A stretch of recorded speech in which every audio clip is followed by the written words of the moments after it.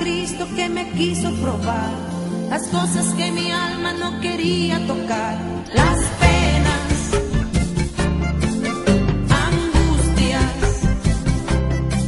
angustias, Rechazo.